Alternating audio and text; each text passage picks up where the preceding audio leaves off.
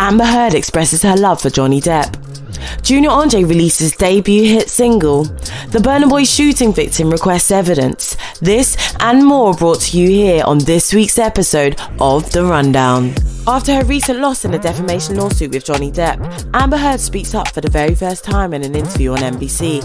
Amber admitted that she still loves Depp and reiterated that she has no bad feelings towards her ex husband. She explained that her 2018 interview about domestic violence with the Washington Post was not about Depp or their relationship, though it was the main source of argument against her in the case. Heard expressed her concern of continuing to speak about Depp and a means to avoid potentially being sued, and testified to not being a good or likable victim, and that when she was in court, she only asked to be seen as human. It is quite brave for her to speak out so soon about the case, and despite its outcome, I do wish both Heard and Depp a peace filled end of the year. Junior Andre has stormed the UK iTunes chart with his debut single Slide after just hours of its release. Peter Andre and Katie Price's son debuted at number one ahead of the likes of Harry Styles, Lady Gaga, and even Eminem. Sharing the exciting news on Instagram, Junior thanked his supporters and asked whether they can get the single to the top of the UK charts, where he placed fourth at the time. The snippets of Slide, which premiered on TikTok, have now surpassed over 6 million views. His parents both showed their admiration for their son and his new success by commenting how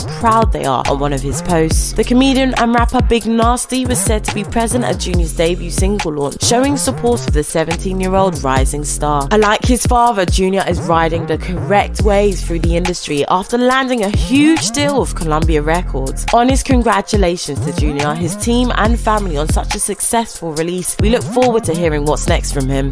The victim of a shooting altercation between Burna Boy's security guards in a club in Lagos has requested for the CCTV footage of the events that unfolded on the night of June 8th. The shooting came as a response to a confrontation between Burna Boy's entourage, the victim's husband, and a friend. The victim took to Twitter to tell the story, stating that she denied three requests to approach Burna Boy sent on his behalf through one of his entourage. Her husband and friend stepped in, which then turned into a fight. Shots were fired by the star's security at an attempt to disperse the crowd and get the Nigerian star safely out of the The victim's husband was reportedly hit in the head and her friend was shot in the thigh, losing so much blood on arrival to the hospital for urgent care. The victim called out Club Cubana, who did apologise and claimed to want to provide assistance to the justice she and her loved ones deserve.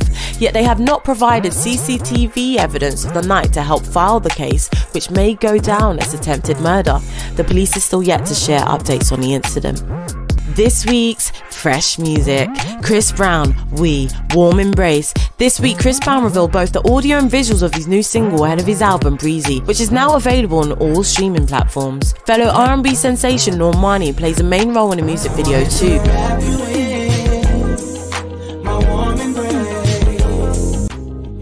Check out this single. We've added it to our new music playlist, which we update every week.